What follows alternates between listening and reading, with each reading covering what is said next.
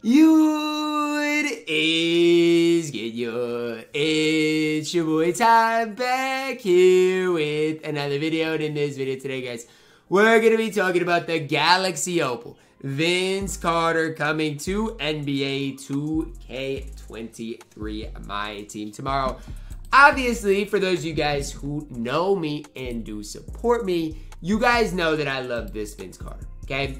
And I mean, honestly, I will always have a special place in my heart for Vince Carter cards. I don't know why it is, but I have always, always, always loved Vince Carter. Now, here's the here, here's here's the thing. Okay, last year we really didn't get that second Vince. We got the pink diamond and then the dark matter. This year we got a pink diamond and now we're getting that Galaxy Opal, who will be that kind of in between stage. Now, a couple of things to look at, guys.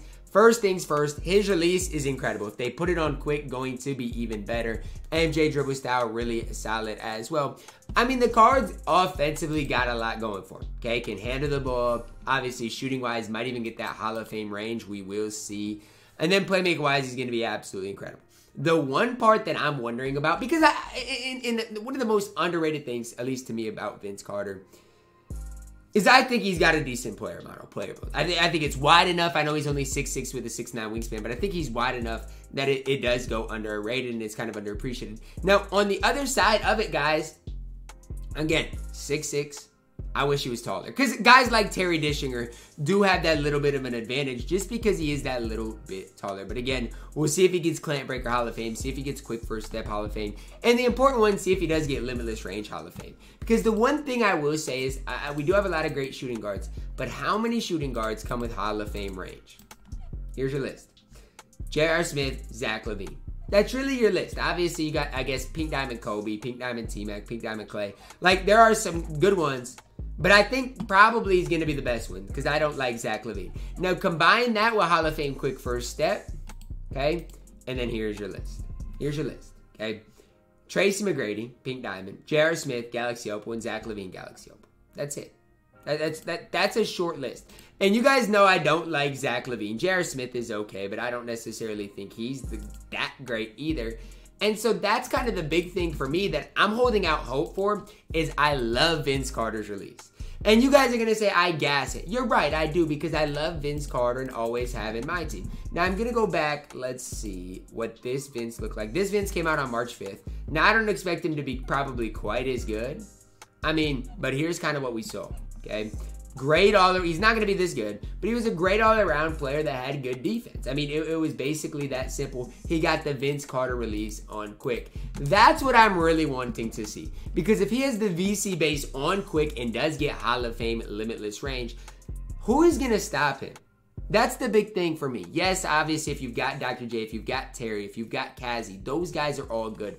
But Vince Carter is going to bring something a little bit different, especially if they soup him up defensively. I don't know if they're going to, but I feel like if we want to make that debate as Vince Carter being one of the best shooting guards in my team, they're going to have to make him able to play great defense because otherwise, what does he really give you over those other guys? I mean, offensively, he's got MJ dribble style. He's got a great release. I mean, he, I can't sit here and say he's bad. I mean, he does have a lot of things going for him. But compared to those other guys, what does Vince Carter really have? Maybe a better release. And that's just my bias because again, I always have that special place in my heart for the Vince Carter release just because that's what I've always been a fan of. Honestly, guys, when we look at this drop from top to bottom, I don't think it's great. No, this that that that's just my opinion. Which I'm actually kind of glad it's not great because we know this event's coming as well tomorrow. So if there's ever a time they really didn't have to have a great content drop, it was now because this is what the basically main attraction is for tomorrow. Forget the cosmic drop, man. Honestly, we got a Galaxy Opal raid that we get to grind for. We've got all of these players in those specific modes. It's like a new season of my team, but just tomorrow. And I actually think this is going to be absolutely incredible. So I get it. If you're not excited about AK, James Harden, Dirk, who's gross, or Vince Carter, I definitely do get that. I definitely do. I mean, let's go back to the content drop we got at this time last year. And this was it. I mean, it wasn't great. I'm just throwing it out there. It wasn't great. So I hate comparing last year to this year, but it kind of is the same.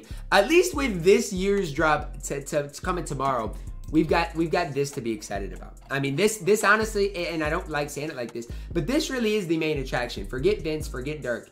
The fact that we can get a free Galaxy Opal shooting guard Ray Allen tomorrow, that's where the hype truly is at uh, when it comes down to it. So I guess it, it's just one of those things. We'll see if this is executed as well as I think it could be.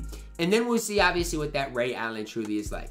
But here's my thing, okay? This E, you know, E Jinlian card is about as good as you can ask for, okay? And so I'm low key hoping they don't gas Dirk, so this card can be that top power forward in the game for quite some time. Because I like this card. I think this card is absolutely incredible. Good height, really solid defense, defensively, really solid release. I mean, he's got a lot going for him. Yes, I mean, he's I would like him to be a little bit quicker, but he does got a lot going for him, and, and that kind of you know is something that I'm hoping I can use this card for quite some time. So I guess we'll see come tomorrow what they really update cards with. It's hard for them to update Vince too much because the card is already good, but with like Dirk, with Harden, with even AK and his release what are they going to give these cards? Are they going to give all of those guys quick releases? I mean, are they to change SIGs? That's what really is to be very interesting tomorrow morning to locate or load up 2K database and find out. Because let's say they do change Dirk's release and give him like the best release in the game. Well, obviously then you're looking at maybe the best power forward in the game. And then E Jillian basically is is I don't want to say useless, but he basically is.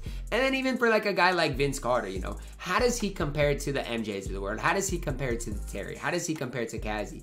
Those are the things that I'm very interested in. And for Vince, all it's going to take for me to be high on the card is this release on very quick. Because I've already been a Vince fan for year after year after year. Even when nobody else is a fan of Vince, I have been. So you guys can see HTB is excited. There's probably going to be a lot of people that are like, um, it went downhill quick. Yeah. I mean, as far as a hype drop, I, I don't really think this is it. But you guys got to remember, last week we got Ja, Yao, and Kawhi. You can't just keep, you know, dropping soup after soup after soup. There's going to have to be some down weeks. So I'd kind of compare this to this kind of drop where we got Tatum, JR. I guess Zion was kind of a hype beast, even though he wasn't great.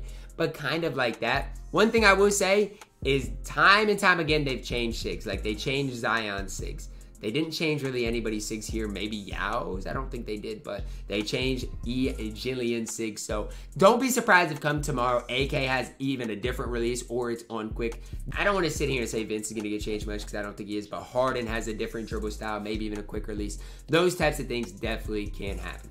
Let me know out of these four, which of these guys are you guys most excited for? For me, I mean, it probably is AK, to be honest with you. It's kind of going to sound weird that it's the pink diamond, but I think he probably is going to have that highest upside. But you guys can let me know down below in the comments. Drop a like on the video, subscribe if you are new, and as always, man, I love you guys, and have a blessed day.